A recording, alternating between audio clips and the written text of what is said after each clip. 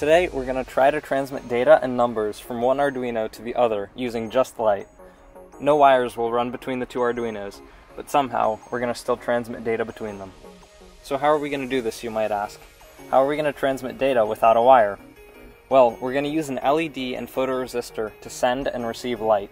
This light has two states, on or off. These states represent a 1 or a 0 respectively. First, I'm going to build a circuit that can receive a single bit of data over light. When this circuit detects light at the photoresistor, it turns on an LED. When there's no light at the photoresistor, it will turn the LED off. This is how I'm going to transmit a single bit, a single 1 or a 0, on or off, light versus no light. This works alright, but if we try moving the LED further away from the sensor, the data transmission stops working. This happens because as light travels through the air, it loses strength and the photoresistor can no longer sense it. This is also why things in the distance appear dimmer than things up close. Instead of just holding up the light to the sensor, I'm going to achieve a longer transmission distance by using a clear rod. This rod lets the light pass through with little interference and essentially lets the light travel further.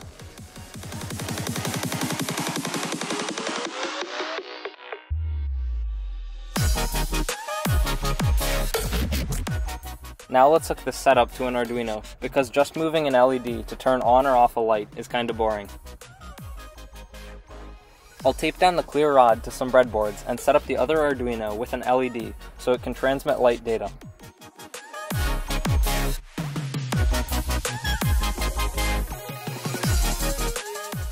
Let's try the same system now.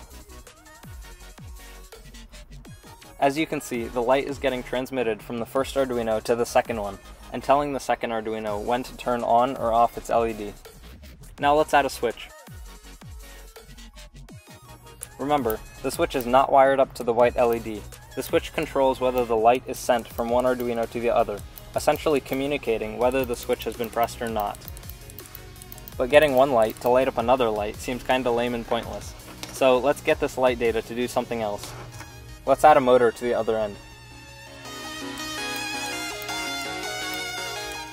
The first Arduino is checking the button to see if it's been pressed or not, and if the button's been pressed, it sends light through the rod.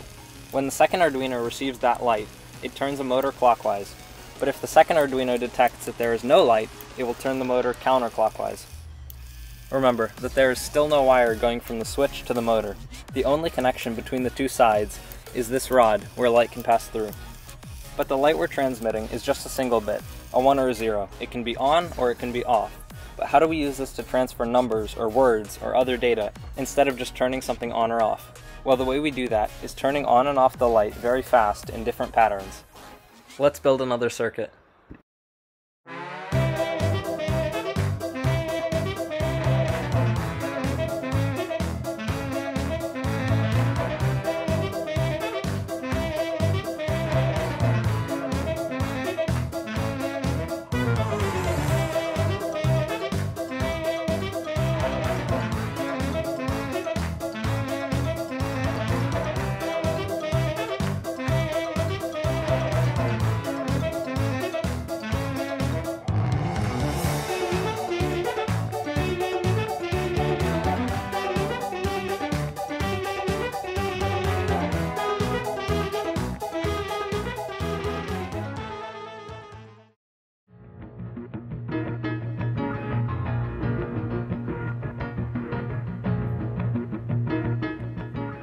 When I hit the button, the number on the screen is converted to binary and sent over as light. The second Arduino converts it back to a number and displays it on the screen.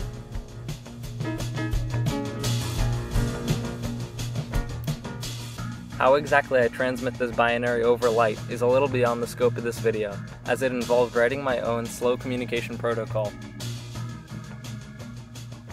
Undersea internet cables that transmit data between countries use fiber optics because of their speed. This example with Arduino was very basic and slow, but light is faster than electricity, so when transmitting data across an ocean in a real-world application, to get faster response times, we use light. If you enjoyed this video, please like, share, and subscribe. It really does help me out. Thanks for watching, and I'll catch you in the next video.